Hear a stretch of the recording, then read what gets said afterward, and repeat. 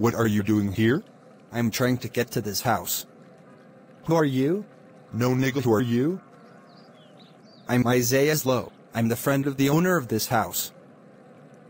Okay. I would have closed the door on his ass too, bro. I don't see why he said he was my friend. I don't know him. Hey! Open this damn door. I'm about to fight him. I'm about to. He won't do a goddamn thing. They'll fight, but I'm betting my money on Isaias. Yeah, not this random ass dude. He probably can't even fight. I'm just trying to know why these people are doing this. They just want attention. Yeah, but I want to find out some more. Like where are they getting the idea of copying us from? Oh. You could ask the person who's copying Avery, but I don't think they'll give you an answer.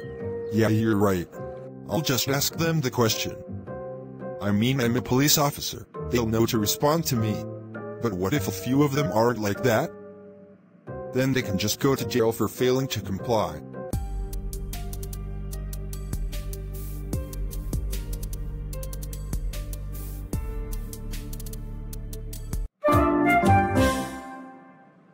So where's Avery? He went out for a little bit just to take a break. We've been working real hard lately. Yeah bro.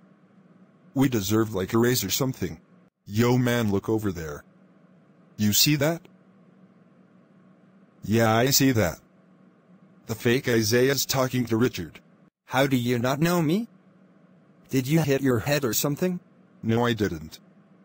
I know that the real Isaias doesn't sound like that. And he wears a black tank top. I spilled something on it so I had to go change.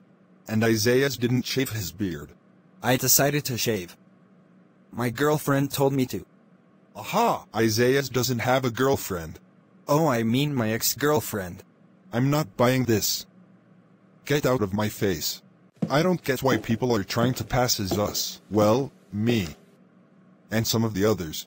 You're lucky someone isn't trying to be you yet. They might be trying to be me. We might see them next episode.